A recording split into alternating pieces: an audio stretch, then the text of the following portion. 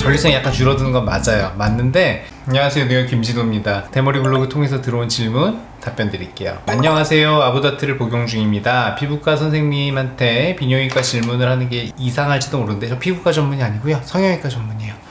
그래도 의사 선생님이고 탈모약 관련이라 문의드립니다. 아보다트는 원래 전립선 비대증 치료제라고 알고 있습니다. 약을 먹으면 전립선이 비대해진 게 줄어든다고 하는데 그러니까 전립선 비대증이 아닌 일반인이 탈모 때문에 약을 먹으면 아무런 이상이 없는 전립선이 엉뚱하게 줄어들거나 또는 다른 이상이 생기는 게 아닌지 문의드립니다. 전립선 줄어들까봐 걱정하시는 것 같아요. 전립선 치료제랑 똑같으니까 이거 전립선 내가 탈모 치료 때문에 먹는데 줄어들면 어떡하지? 전립선이 약간 줄어드는 건 맞아요. 맞는데 전립선은 크게 커져서 이게 소변이 배출되는 출구를 막아서 방광을 또는 압박을 해서 우리가 소변을 자주 보러 가게 한다던가 오줌 줄기를 약하게 만드든가 이런 게 문제지 작아져서 문제가 되는 경우는 임상적으로는 거의 없다고 어, 보셔도 됩니다. 그래서 전립선이 약간 수축하는데 전혀 뭐 느껴지거나 무, 그 우리가 생활하는데 지장은 없어요. 걱정 마시고 탈모약 드셔도 어, 예, 괜찮습니다.